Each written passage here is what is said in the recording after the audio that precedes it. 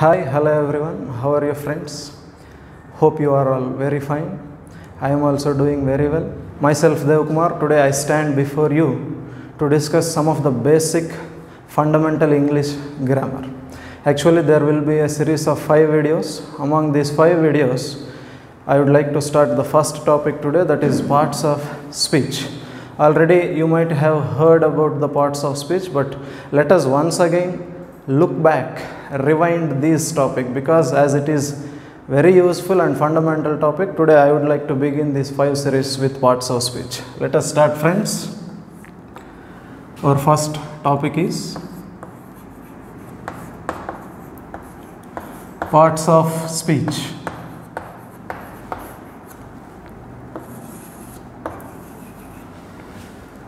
As you already heard about uh, parts of speech, we all know that there are eight parts of speech in English.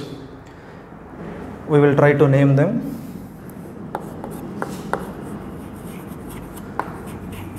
There are eight parts of speech.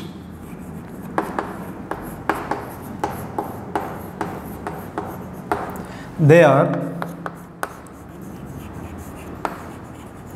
number one, noun, and then number two, pronoun, and then number three, verb, and number four, adverb, and number five, adjective, and number six, preposition, and number seven, conjunction, and number eight, interjection. Observe these last two, the seventh and eighth. The students, most of the students may get confused with the spellings of these seven and eight. The seventh one is conjunction, whereas the eighth one is interjection. So most of the students get confused that conjunction and they will read eighth one as interjunction, but it is not interjection, it is interjection. Okay, please make a note. Let us start with the first one, that is noun. The first one, noun. What is a noun? A noun is a naming word. All the things, persons, places, living beings, feelings, qualities that contain names will come under noun. So, the definition of a noun is a noun is a naming word.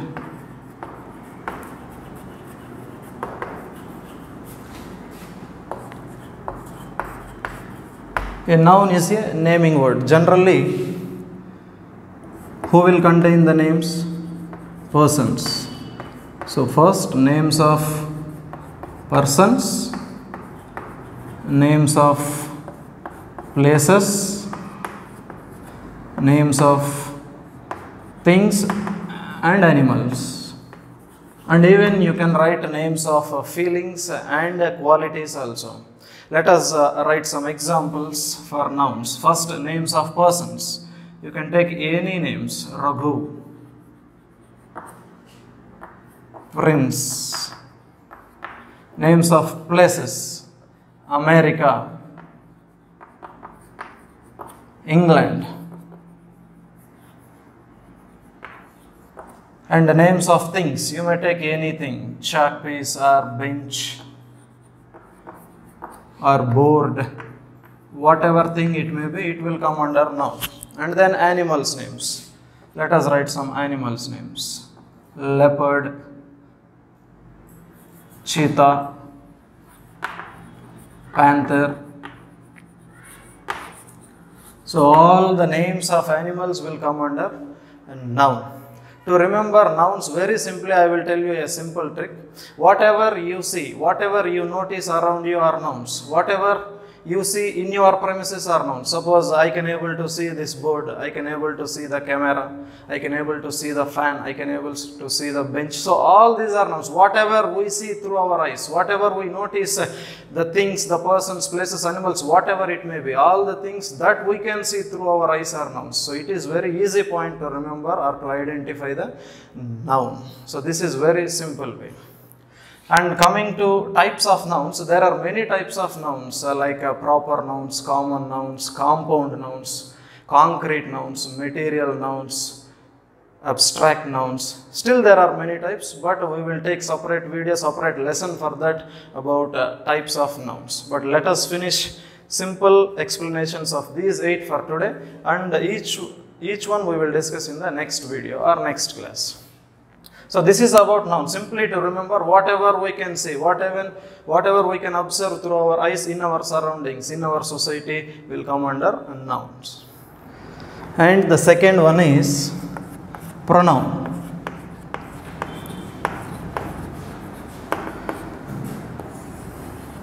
Do you think is there any difference between noun and pronoun? Some of you may say yes, or some of you may say no. But I will say there is no difference between noun and pronoun because nouns and pronouns are always the same with exception in one difference. That is, nouns contain names whereas pronouns do not contain names. Remaining are same. All places, persons, things, animals are nouns. In the same way, all places, persons, things, and other things are pronouns also. But in nouns we use name, in pronouns we do not use name. That is the only difference between nouns and pronouns. Let us see the definition of pronoun. What is a pronoun? A pronoun is used instead of a noun. A pronoun is used instead of a noun. Simply, it takes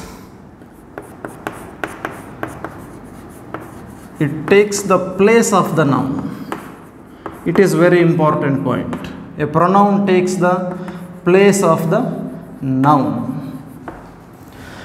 To understand better, let us see some examples. Example. First one. Mr. Rakesh is a dance master.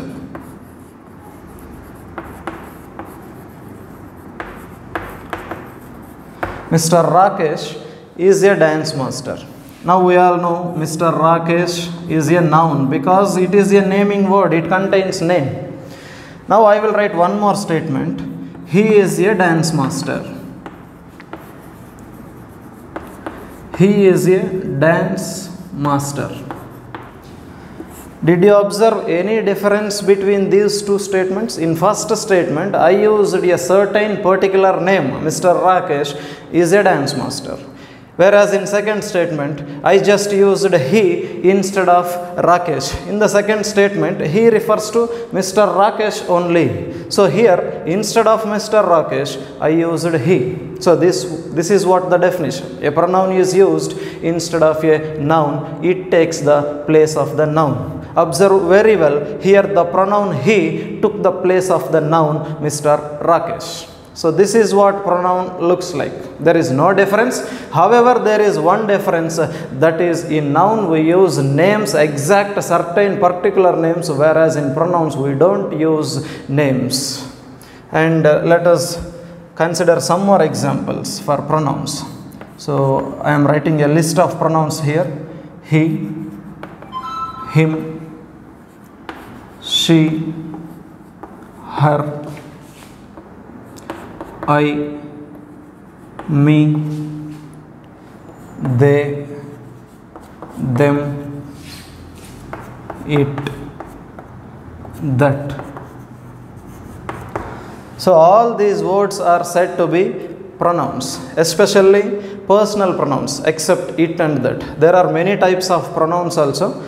But we are going to look only two types of pronouns today because these two types of pronouns will again come in our as usual academic textbook syllabus.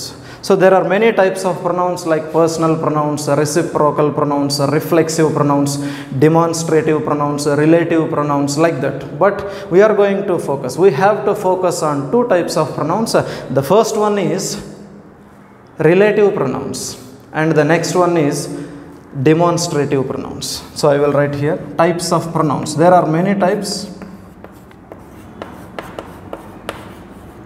but we are going to look about only two types of pronouns here. The first one is relative pronouns.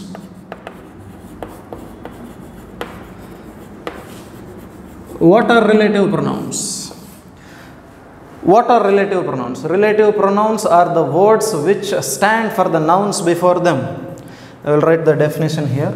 Relative pronouns are the words, they are the words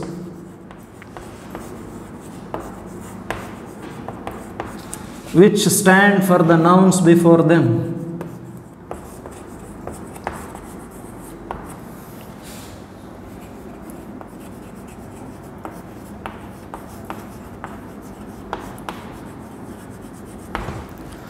Relative pronouns are the words which stand for the nouns before them, and moreover, who, which, that, where are said to be relative pronouns. So, observe carefully who, which, where, that, whose, and whom.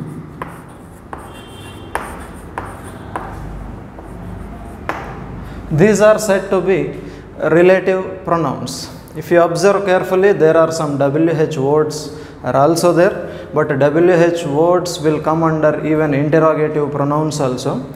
But here they are relative pronouns. Now let us understand the definition. As I have already told the definition of relative pronouns, relative pronouns are the words which stand for the nouns before them. To understand the definition, let us consider an example.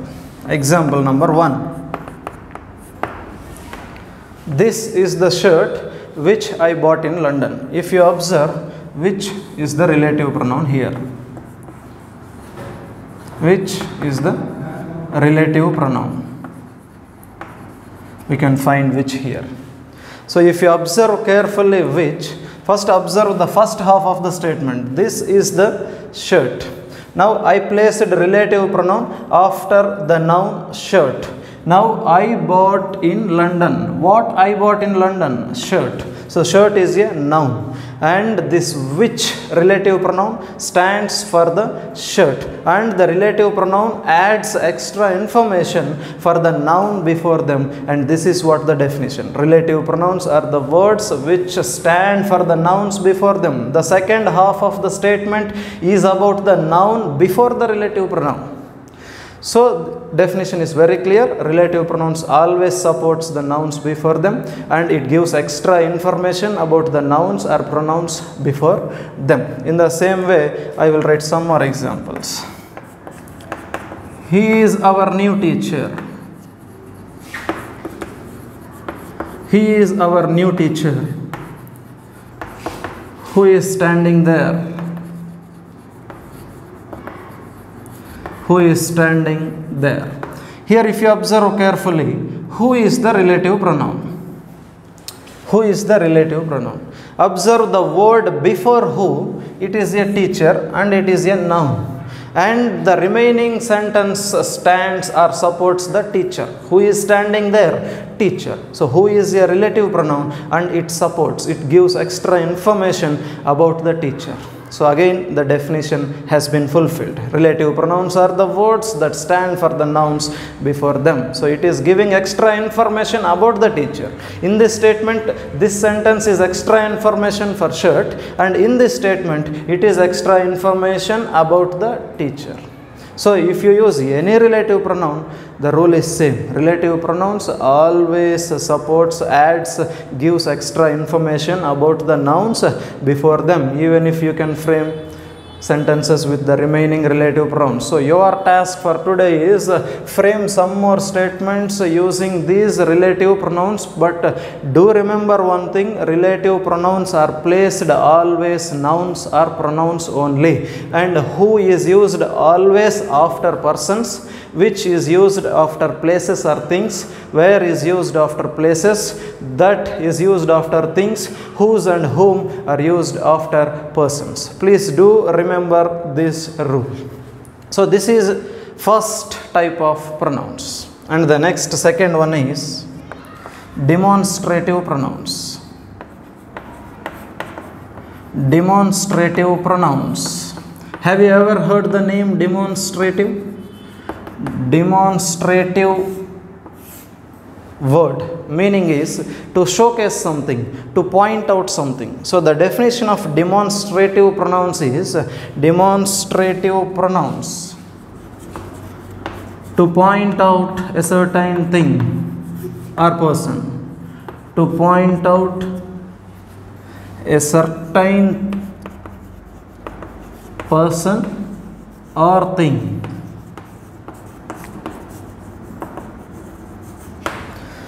To understand better i will consider some examples now. So the words this that these and those are considered as demonstrative pronouns. If you observe carefully i will write i will use these words in sentences i don't like this book. If you observe carefully i don't like this book. In this statement this is a demonstrative pronoun because we have written already here i don't like this book. So we are point out we are pointing out a certain book this book. We are just showcasing the particular book this book that book. You can write same same statement using that also. I don't like that book. So we are pointing out certain book. And even these I have already seen or I have already read these books. I have already read those books. So you can use uh, these words in sentences like that. So demonstrative means uh, to point out certain thing. I have sit yesterday in that bench. You can show like that. You can point out that certain bench by using demonstrative pronouns. So these are two important pronouns that you will get again in your academic course as part of our grammar, especially for 9th and 10th class students. This relative and demonstrative pronouns will come again in your textbooks also. So please do remember and practice some more statements using demonstrative pronouns as well as using relative pronouns. This is home task given to you. Coming to the third one among the eight parts of speech, the third one is verb. So, what is a verb? A verb is a word that refers to a work or an action. A verb is a word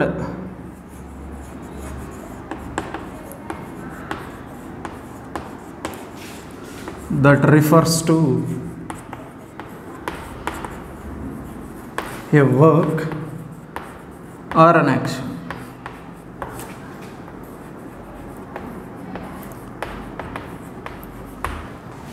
Sometimes verbs refer to a state also.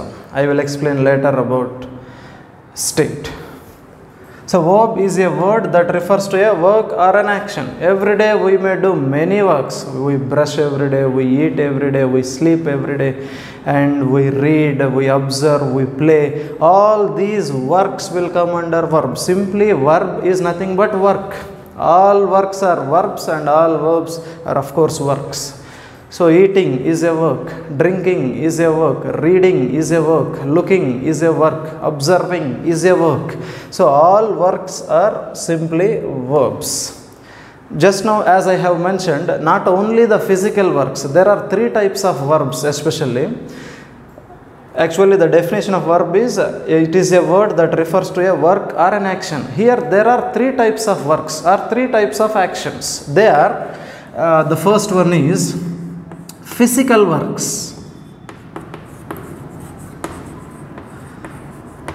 Please be cautious. Uh, the first one is uh, physical works. and the second one is mental works and the third one is state to be these are the three types of works. First one physical works eating playing swimming. All these are physical works because if somebody does that work we can see physically with our eyes. We can observe we can see directly with our eyes the works which we can see directly if somebody does. Those works are physical works. I will write here examples. Play swim etc coming to the mental works. See observe. Is observe a work which we can see manually or physically? We cannot see. And one more verb think. One more verb guess. So all the verbs of this kind are mental works because we cannot see those works physically if somebody does these works. If i observe you cannot see that. If i think you cannot see that. If i guess you cannot see that. But if i play you can see. If i swim you can see that. So this is the difference between physical works and mental works. And third one it is very important the state to be here we can consider all helping verbs like am is are let us consider some examples to understand better the third one. Example. 1 i am a teacher. I am a teacher. Here what is the verb? Am. Am is the verb here see please do remember one thing without verbs we cannot write at least one sentence in english if you observe any textbook english books or newspapers or any material that contains that is written in English, we cannot write any sentence without verb. So every sentence should contain, must contain verb. So in this statement, the verb is am.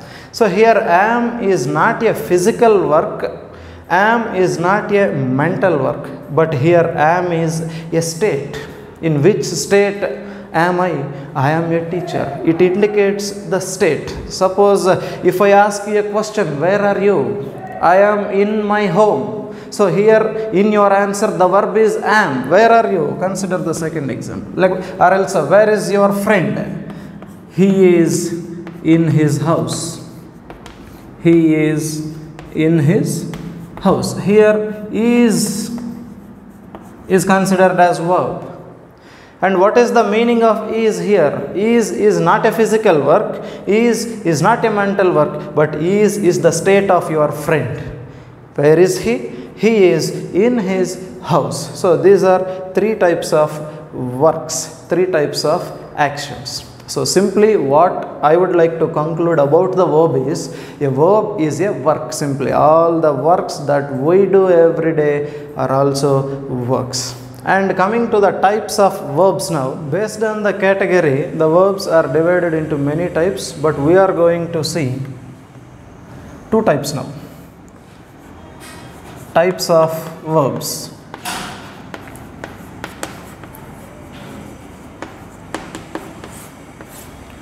Number one, auxiliary verbs. And number two, main verbs.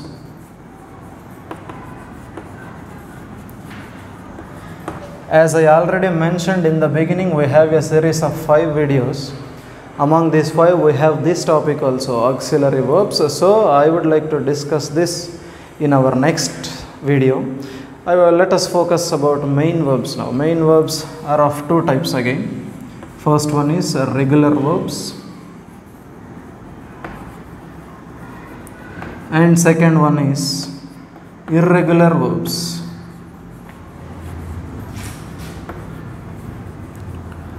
regular verbs and irregular verbs Let us consider some examples to understand better about the regular verbs and irregular verbs. So, first, regular verbs.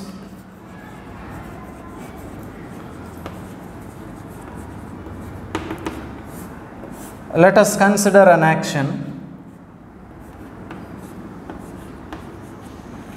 play. Play is a physical action, it is a verb. Now, if you observe the three forms of play, here V1 indicates present tense and V2 indicates past tense and V3 indicates past participle. Even if you can add V4 also, it is present progressive. Present progressive form is known as V4 form. So, the V2 of play is played and V3 is also same and V4 is it is ing form. So, play becomes playing. If you observe carefully, we just added ed to form second form and third form. Let us consider one more verb dance. The second form of dance is danced and third form is danced and the present progressive form is dancing. And if you consider another verb look the V2 form of look is looked and V3 form is also looked and present progressive that is V4 form is looking. If you observe carefully the pattern here adding ed or d is repeated. If you want to frame second form and third form of these first forms we are adding ed or sometimes d. So it follows a regular pattern and such type of verbs are called regular verbs. So the definition of regular verbs is very simple. The second form V2, V3 forms are formed by adding D or ED to the first form of the verbs. Such type of verbs are called regular verbs. So make a list of regular verbs. Try to write at least 20 examples after seeing the video. Irregular verbs are formed with no rules here we have a rule for regular verbs. Just we added d or ed to the first form and thus we have framed second and third form. But whereas regular verbs it has no rule. Every verb is different if you transform that into V2 and there will be no rule if you transform the same verb into V3. It follows totally no rule. Now let us focus on regular verbs. The second type of verbs is regular verbs, irregular verbs. Now the point of discussion is irregular verbs. So already we know about regular verbs. They are formed by adding d and ed to make v2 and v3 form. Now irregular verbs. Let us consider some more examples to understand better. v1, v2, v3 and v4 present past, past participle and present progressive forms. So first observe the verb go.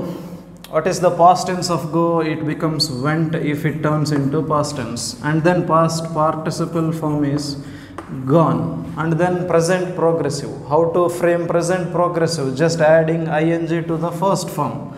So go becomes going so if you observe the pattern here, know pattern is repeated like uh, regular verbs. In regular verbs, we have seen dance, danced, danced. V2 and V3 are all same for every verb. But here, V1 is different, V2 is different, and V3 is different. There is know particular rule being followed here to frame V2 form and V3 forms. Observe some more examples. It is no. The past tense of no is knew and the past participle form of know is known. And then present progressive form is knowing. See if you observe carefully there are no rules same in between a single verb v1 v2 and v2 to v3 there is no such rule repeated. And observe compare go with new Here V2 is framed with no rule. Here also V2 is framed with no rule. We do not follow any certain rule to frame V2 and V3. For every verb it will be distinctive, very different. So this is irregular verbs. Let us consider some more examples. Uh, think, bring, buy. So all these are irregular verbs. The second form of think is thought and third form also thought. Bring three forms brought and brought. Again buy it becomes bought and bought. So we are not following or we are not repeating any pattern here. So such type of verbs are to be treated as irregular verbs. This is second type of verbs. The first type as i already mentioned auxiliary verbs. It is also called as helping verbs which will be discussed in the part of our five series videos I think uh, next video will be on pronouns and uh, irregular regular verbs. So wait for that. But do remember the rules of regular verbs and irregular verbs. Auxiliary verbs, which is the most important topic, will be discussed later.